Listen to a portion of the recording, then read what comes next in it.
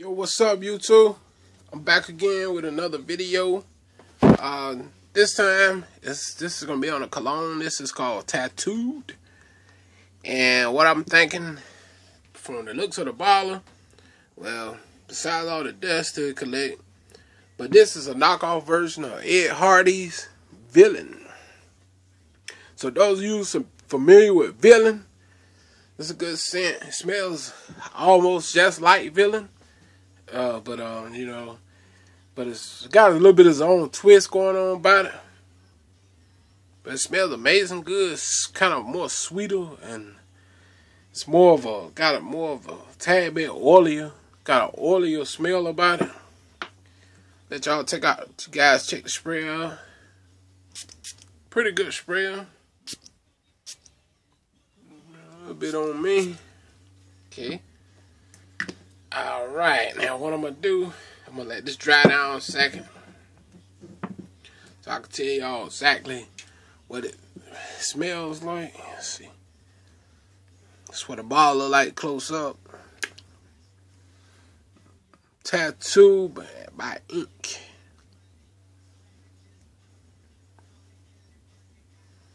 Tattoo ink. And what I think, and what I know for fact, yeah, this is, is a knockoff version of Ed Hardy's Villain. It smells kind of like a, it's the dominant note. It's like a watermelon type scent. It smells similar to um, Just For Me by Paris Hilton for men. It smells similar to that in my opinion smell like that, but it's got a little bit of its own twist going on about it. But it's a good scent. Highly recommend it, guys. Uh, once again, it's called Tattoo by Ink. This is a knockoff version. Um, Ed Hardy's Villain. But it smells amazing good. Good spray. And I think this is made by Preferred. No, Preferred makes some of the best. Like I said, the best strong, potent, high projecting knockoff cologne in the business, in my opinion, know. So I highly recommend, you know, guys, if y'all see any preferred colognes and it's a knockoff version of whatever, whatever, preferred make some good, strong colognes. And the projection and longevity on this right here, I get three to five hours easy. Smells really good. It's kind of got like a a little soapiness to it, a sweet like sweetness to it, and it's more like of a. It's got like a watermelon, most like the dominant note to be in this one. But it's a good smell. Like I said, guys, I highly recommend it. So you know y'all can see it. You can just scoop this right on up, and you won't be disappointed. That's what it look like close up. Sorry for all the dust, you know, because I don't wear them no more. So, but it smells amazing good, though. And then it's, it's, like I said, it's got the dominant note. It's like a watermelon. Smell really good. Matter of fact, spray it again.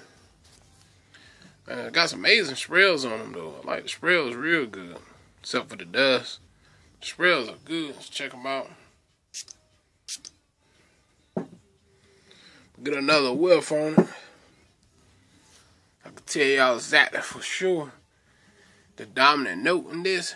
If y'all get it, y'all comment, let me know what y'all think about Tattoo Ink for men. Yeah, it's got more dominant notes, watermelon, and man, the watermelon is kind of got an oily type smell mixed with watermelon. But it smells pretty good though. Like I said, the longevity and projection on this is great. Y'all will like it. And um I think I ordered this on eBay about two two years ago. I think I paid about eight, ten bucks, give or take, something like that. Wasn't that much, you know, but um it's a good cologne. I buy a lot of colognes. No, I buy real colognes and knockoffs. No, I really don't care. You know, I buy what smell good to me, you know. I don't care what name brand, off brand, or what, you know. I just buy, like I said, I buy what smell good. So, uh, you know, I ain't got no certain cologne or nothing like that. But if I got a couple more I want to bring to y'all, tell y'all about colognes that I think smell pretty good. Just like the knockoff colognes like Cubas. The Cubas are some good alternative colognes too. Good projection, good longevity on them, and uh, they're good alternative colognes. So I would check out. And here we go right here on this. Like I said, it's just a knockoff version of Ed Hardy's Villain. So, so guys, I highly recommend y'all get out there and pick this up. So good scent.